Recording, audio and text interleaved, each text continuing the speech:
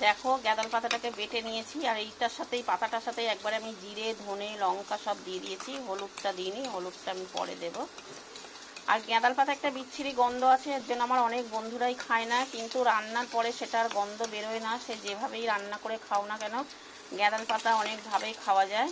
যখন রান্না করবে, তার কোনো বিচ্ছিরি ওই গন্ধটা কিন্তু থাকে না। একবার করে খেয়েও, তারপরে আমাকে বলো।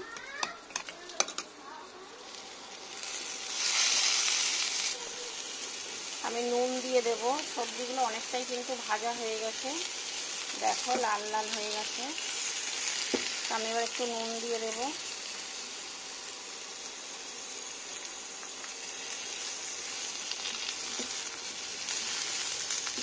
আর একটু হলুদ দিয়ে দেব।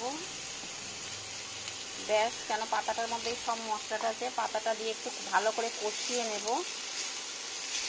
দেখো মশলা সহ পাতাটা আমি দিয়ে দিলাম।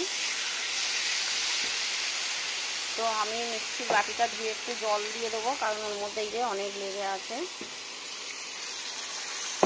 দিয়ে এইটাকে আমি ভালো করে এবার কষিয়ে নেব।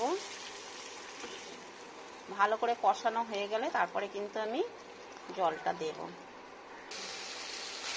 এই যে কষানো হয়ে গেছে, দেখো একদম কিন্তু শুকনো শুকনো হয়ে গেছে।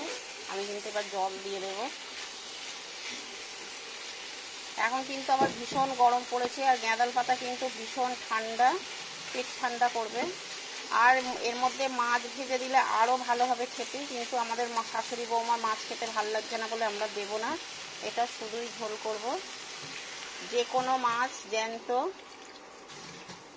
দিয়ে ঝোল করলে আরও ভালো টেস্ট হবে খেতে। আমি বারবার বলছি, যারা গ্যাদাল পাতা না খাও, তারাও একবার খেয়ে দেখবে, ভালো লাগবে। আমার এই ভিডিওটা ভালো লাগলে লাইক শেয়ার কমেন্ট করবে। অবশ্যই ফেসবুক পেজে ফলো করে দেবে আর ইউটিউবে সাবস্ক্রাইব করবে।